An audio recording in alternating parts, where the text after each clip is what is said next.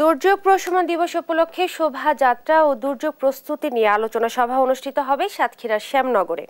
এ বিষয়ে বিস্তারিত জানতে সরাসরি যুক্ত হচ্ছে সহকর্মী শরীফুল্লাহ কায়সার সুমনের কাছে। সুমন, দুর্যোগ প্রশমন দিবসের কর্মসূচি সম্পর্কে আমাদেরকে বিস্তারিত জানাবেন। ঈশ্বর, ধন্যবাদ আপনাকে। আমি দাঁড়িয়ে আছি সাতক্ষীরা শ্যামনগর উপজেলা, যেটি বাংলাদেশের সব থেকে বৃহত্তম উপজেলা। একই সাথে অত্যন্ত জলবায়ু পরিবর্তনজনিত কারণে সবচাইতে যেটি দুর্যোগ পীড়িত যে উপজেলা বাংলাদেশের, সেটি হচ্ছে শ্যামনগর উপজেলা।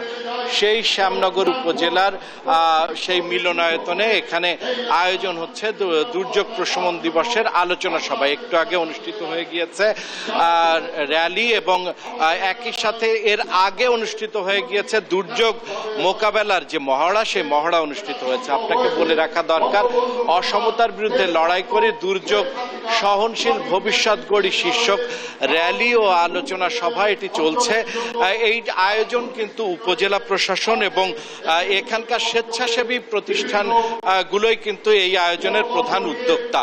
এখানে বলে রাখা দরকার যে আপনাকে যে এখানে আপনি যে বিপুল সংখ্যক যে স্বেচ্ছাসেবীদের দেখছেন স্বেচ্ছাসেবীদের স্বেচ্ছাসেবীদের দেখছেন, সে তারা হচ্ছে কিন্তু সকল দুর্যোগে তারা কিন্তু সাহসী ভূমিকা পালন করে থাকেন।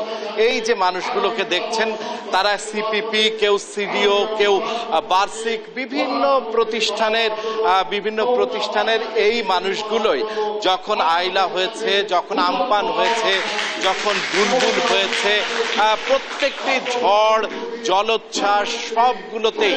কিন্তু এই মানুষরাই কিন্তু সাহসী ভূমিকা পালন করে মানুষদেরকে উদ্ধার করা, গাছ পড়ে যাওয়া বা বাড়িঘর ভেঙে যাওয়া, যে অসহায় মানুষ, সেই মানুষদেরকে কিন্তু উদ্ধার করেছে, নিরন্ন মানুষের মুখে খাবার তুলে দিয়েছে।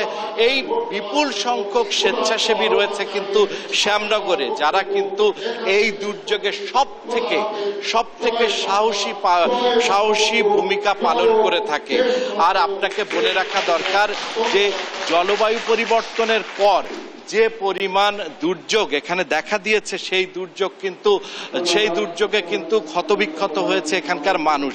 এখানে উপজেলা প্রশাসনের পাশাপাশি রাজনীতিবিদ এবং স্বেচ্ছাসেবীরা কিন্তু গুরুত্বপূর্ণ ভূমিকা পালন করেছে।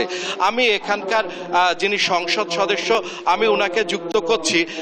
উনি উনি জানাচ্ছেন যে এই শ্যামনগরকে কীভাবে আগলে রাখতে হয় এবং মানে কি, কীরকম দুর্যোগের মধ্য দিয়ে শ্যামনগরের মানুষকে এগিয়ে যেতে হয়। আপনারা জানেন, শ্যামনগর একটি উপকূলীয় এলাকা। মাননীয় প্রধানমন্ত্রী বঙ্গবন্ধু কন্যা দেশরত্ন শেখ হাসিনা রাষ্ট্র ক্ষমতায় আসার পর এই উপকূলীয় অঞ্চলের মানুষের জীবন জীবিকা নিরাপদ করার জন্য তিনি ব্যাপক বরাদ্দ প্রদান করেছেন। ইতিমধ্যে আপনারা জানেন গাবুরার ক্ষতিগ্রস্ত বেড়িবাদ এবং এই দ্বীপ অঞ্চলকে সুরক্ষিত করার জন্য এক হাজার গাবুরার, আপনি শুনতে পেলেন। হ্যাঁ হ্যাঁ হ্যাঁ। গাবুরার আমরা কথা শুনছিলাম। গাবুরার টেকসই বেড়িবাঁধের কথা এসেছে। গাবুরার টেকসই বেড়িবাঁধ কিন্তু কাজটি চলমান। তবে এখনও পর্যন্ত কিন্তু আশাশুনি সহ অনেক অঞ্চল রয়েছে যেগুলো কিন্তু অরক্ষিত।